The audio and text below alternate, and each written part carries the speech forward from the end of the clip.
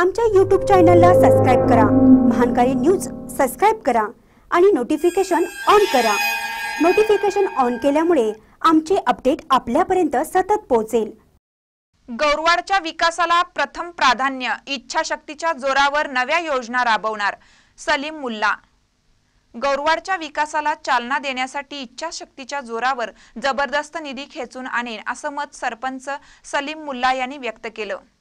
सरपंच पदाचा कार्यभार स्वीकारल्यानंतर दुसऱ्याच दिवशी मुल्ला यांनी गावातील स्वच्छतेला प्राधान्य दिलं आहे.